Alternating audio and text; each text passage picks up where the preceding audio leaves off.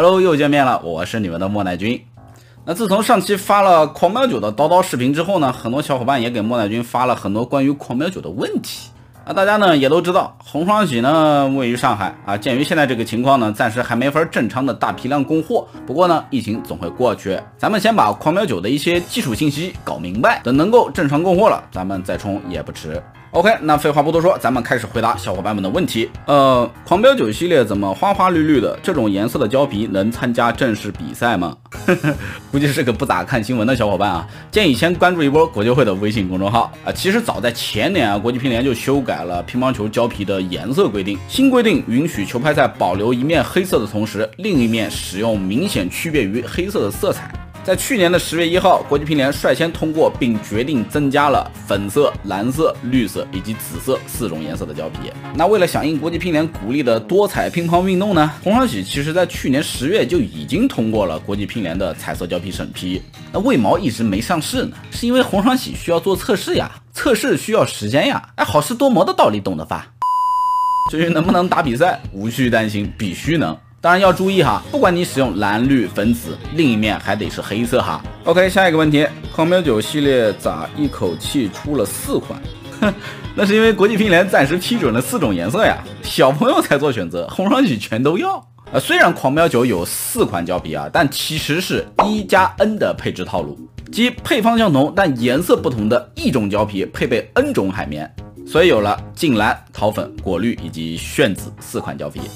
那其中净蓝配的是蓝狂同款的二十二号海绵啊，桃粉是普狂同款的二十号海绵，果绿和炫紫使用的是狂飙八八零同款的八十号海绵。下一个问题，狂飙九系列性能上跟其他狂飙有啥子区别？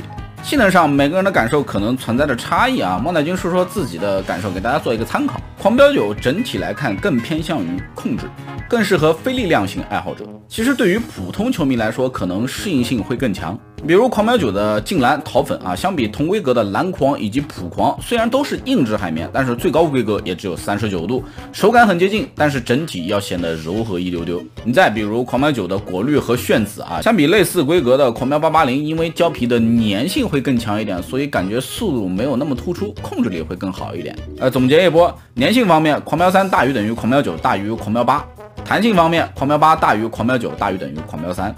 下一个问题，狂飙九系列需不需要灌胶？呃，其实莫乃军在直播的时候也说过很多回，要不要灌胶取决于你对性能有没有极致的需求。很多球馆的老大爷从来不灌胶，不也把很多小伙子推到怀疑人生吗？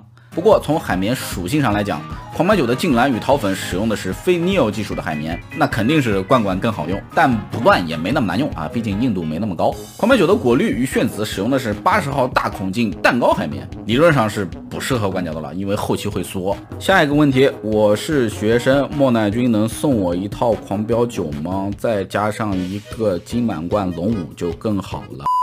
下一个问题，下一个问题，狂飙九的价格怎么样？莫奈君最推荐哪一款？